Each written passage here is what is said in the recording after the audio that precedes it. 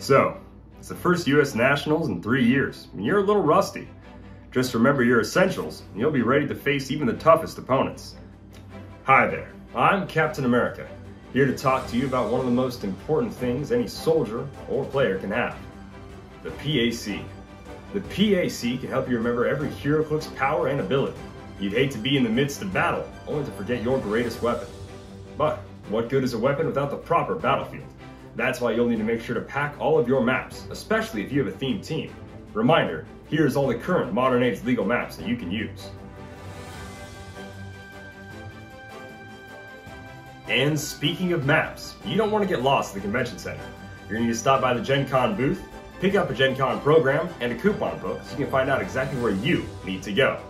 You're going to want to stop by the WizKids booth as early as you can and pick up some of those spectacular exclusives so you don't want to miss out.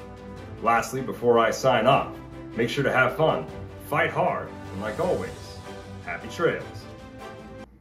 So, what'd you guys think? Pretty cool that Captain America plays HeroClix, huh? That was just you in a costume. Well, eh, no. No, that, that was Captain America. I met Captain America. He said happy trails. I'm leaving. No, hey, hey, hey, come on. No, come back. Yeah, it was. It was just a costume.